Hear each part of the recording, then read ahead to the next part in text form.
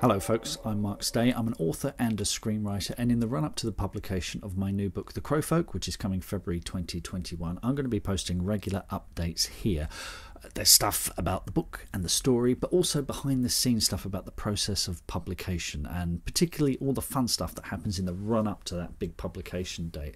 And just recently, I got my page proofs from my publisher, so I'm going to talk about what I do with those and how I review them for my publisher. So we're a little over three months away from the publication of The Crow Folk, and the proof pages were sent to me as a PDF. This is how the printed book will look on the page. They used to come as a basically a big wodge of paper, but now for various reasons, economical, environmental, they're sent as a PDF. I did look at getting them printed locally, um, but for a 352 page document, it would have cost about 35 to 50 quid, depending if I wanted it one sided or, or two sided. Now, the proof pages are an author's last opportunity to really spot any errors and make any changes. And not big changes either. This is not an edit. The edit is done. This is not the time to decide to move that pivotal scene in Act 2 into Act 1. No, no, no. What you're looking for are typos, formatting errors, clunky sentences, and, and that's about it. Uh, I read them out loud. Why? Well, when I was at Orion, I worked for the Orion Publishing Group for many, many years. The audio director there, Pandora White, said she wished all authors would read their proof pages out loud. And the reason is that by the time they came around to recording the audio book, the proof pages had been done and sent off to the printers. So if they ever spotted any errors, it was too, and they often did, it was too late to do anything about it.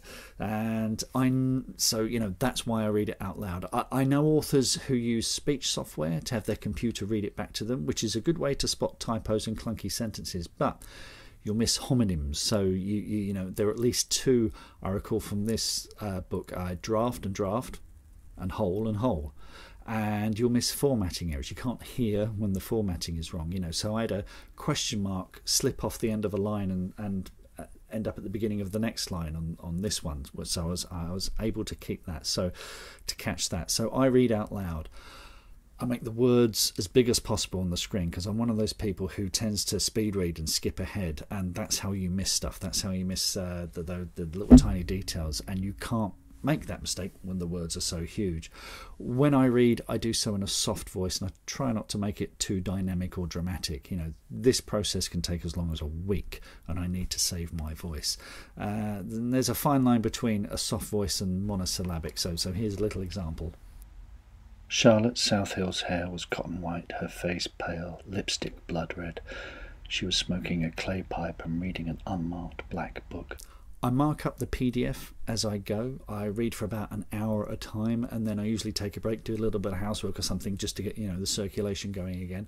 I generally find I can only read in the mornings. I'm just too drowsy in the afternoon, and I miss stuff. At the end of each session, I go back to my original document, uh, which is a Scrivener document. You may use Word or, or similar, and I go and make those changes, all those markups that I've made, I go and make them in my original document. And I did that for the edit and the copy edit. Any changes go back into a master document so that I have a master doc with all the updated changes. You'd be amazed how few authors do this. And that's not unreasonable. Why should I do this? The the publisher is making those changes and putting it out there.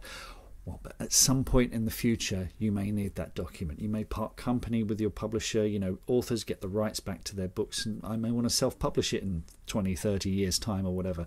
And the last thing I want to do is have to go through this process all over again. And also, you, you know, you can't just ask the publisher for those files, they'll charge you for them. They spent money creating them, and they will charge you. Sometimes it's hundreds of pounds, and if you've got a whole series, that can really, really add up. So, you know, create an archive, back it up get into the habit of creating archiving your own. So that's it. That's reading page proofs. Uh, coming up, I'm going to be talking about research into the magic of the crow folk, more behind the scenes publishing stuff. So please subscribe so you don't miss out. Any questions, pop them below, and I'll do my best to get you answers. See you next time.